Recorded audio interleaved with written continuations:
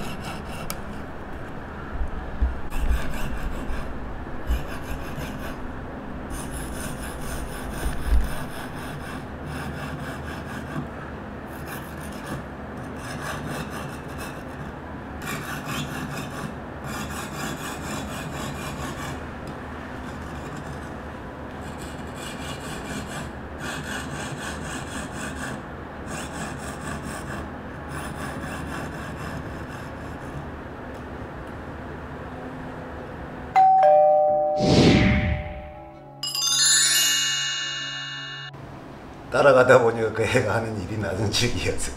친구 좋아서 따라갔는데. 예, 처음에는 힘들어서 그거 할 때 그만두고 그냥 집에 갈라 그래서 몇 달 있다가. 근데 하다 보니까 또 재미가 있더라고. 맨 처음에 배울 때는 칠을 배웠는데 맨 처음에 입문할 때는 칠, 칠로 입문을 했어. 근데 칠은 진짜 재미없더라고. 너무 단순해가지고 재미없고 이게 나전을 하는 거 보니까 그게 재미있더라고. 그게 하- 하고 싶더라고. 그래서 이제 나전을 하면서 이제 이게 재미를 붙여가지고 지금까지 왔지.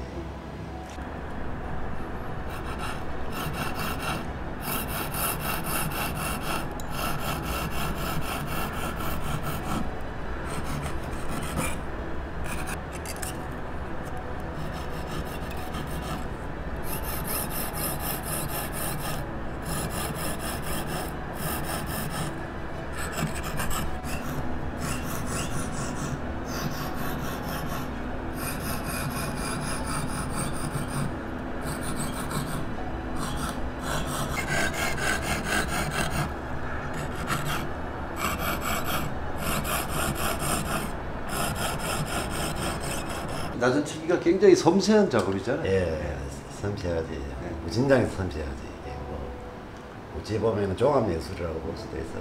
그냥 뭐 진짜 아무것도 없는 바닥에 술을 놔가지고 만드는 거니까 어, 섬세하기도 하고 어, 이 상상력을 좀 키워준다고 할까 사람한테 예, 그런 재미가 이거